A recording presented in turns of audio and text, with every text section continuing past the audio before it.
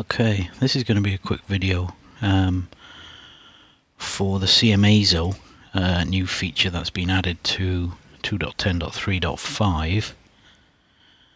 Uh, we're going to download this, fresh database and everything. So Bryan uh, W4WMT added a new feature in uh, Thetis which bypasses the hardware codec in the radio hardware and passes all audio through um, an ASIO device. So we will install uh, Thetis. I just downloaded it from uh, GitHub there, so we'll get it installed.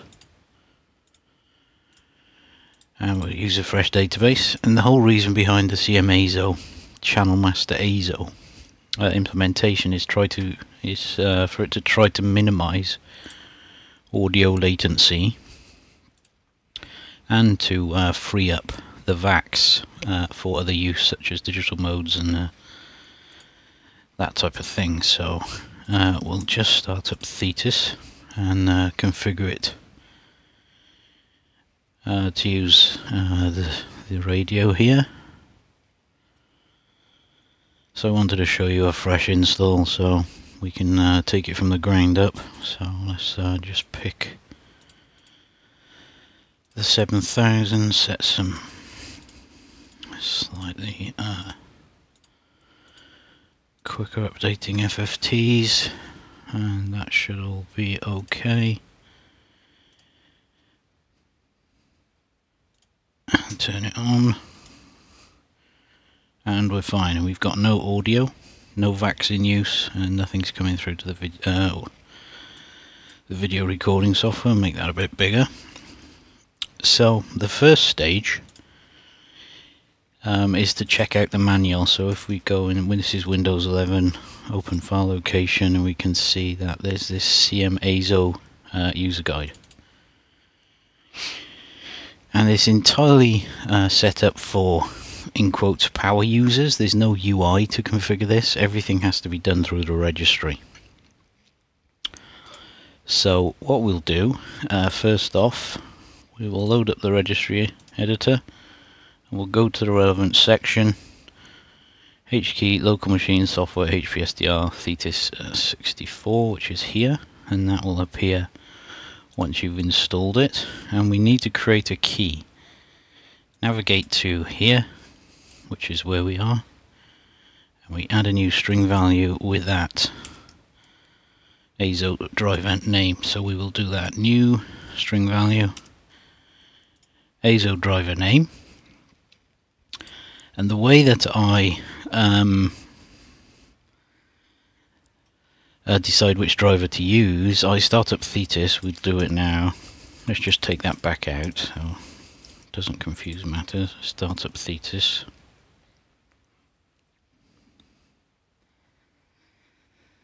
and we will uh, get a list of the ASIO drivers that Thetis knows about by going into setup um, audio ASIO we'll hit this drop down. And we'll just do a screen capture of that and sit that um, sit that over there on the edge. Uh, Bryan has made a separate app, I think, a little program utility which will give you the list and more info about your drivers. Don't know if he's linked that here um, or if he's linked it uh, in the thread. Um, so there's quite, let's just quickly go there, there's quite a big uh, thread happening in the virtual uh, audio section this one. It's already at five pages so there's a lot of info in there to be gleaned. Uh, but let's go through this. So we've taken a screenshot of what we've got here. I want to use this X-Air ASIO driver.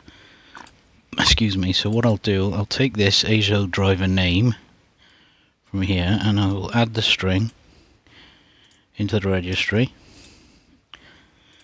double click it and then I can type that in over the X Air ASIO driver like so So that's mimicking that there.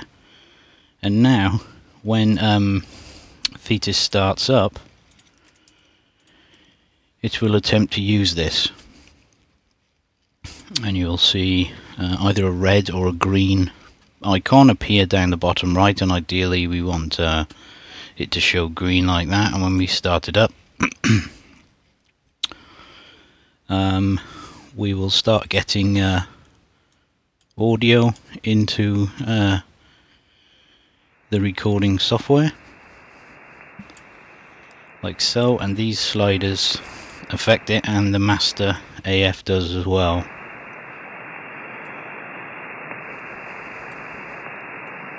so um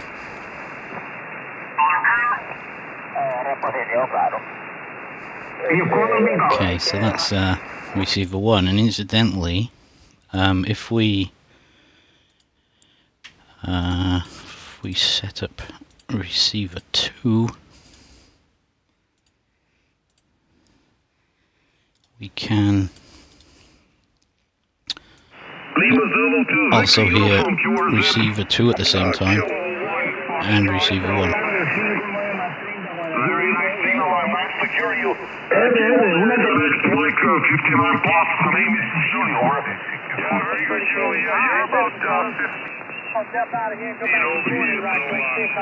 so we've got both the receivers uh, piping through uh, CM ASIO, Channel Master ASIO. Um, so like I say, it takes the place of your hardware uh, codec in the radio. Uh, speakers and uh, microphone and things I don't think work if you're using this connected to the uh, hardware and this takes the place of it and um, attempts to uh, reduce latency. So what I'm going to do now um, is get it working with a Voicemeeter So the way that that was working just now, I've got an X, I've got an Xair uh, XR18, which uh, can do uh, hardware mixing, which is how I managed to get the uh, audio and everything into the recording of the of the video here. Um, but of course, you could use um, Voicemeeter Potato to do the same sort of thing. Um, in this you have to make sure if you go into settings here that you see buffer 64 here this has to be set to default um, uh, we found and this has to be set to int32 uh, LSB uh, these significant bits so buffer 64 int32 LSB and default there. Set your uh, output ASIO device as normal. And then what we will do we'll go back into the registry we will temporarily um, edit this key and put something in front of it just to uh, prevent Thetis from using it which will then uh, cause Thetis to um, not use cmASIO. There will be no icon down here. So we can get a list. So as soon as you use the device, I should say, um, uh, mention, if CS ASIO is using the device, you can't use it uh, for VAC. It will literally disappear from here. So we're going to use that one uh, for this uh, Voicemeeter potato test. So shut all Thetis down again change this back get rid of those A's double click this so we can change this to uh, voice. M E E T E R. Virtual ASIO and then we can double check that Voicemeeter virtual ASIO which matches that one over there. We can cross this and we're happy with that. Start up Thetis again.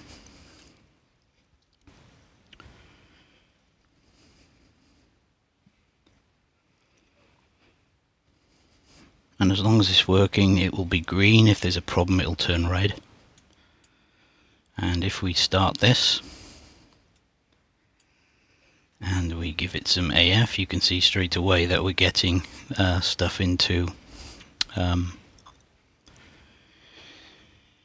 into uh, Voicemeeter Potato so you can do all your routing and whatnot if you're used to using that so uh, yeah that's the uh, that's the way uh, to set it up there are some other options um, if you look at the documentation which we can get to here. There are some other options um, there's one called block uh, size a block ASIO block num so that would be the other key that you could enter into the registry. So we can control C that if we wanted to go into the registry editor and this has to be a, a D word. So we'll create one of those call it blocknum and set it to some value. Um, and you could play with this to uh, see how it affects your system.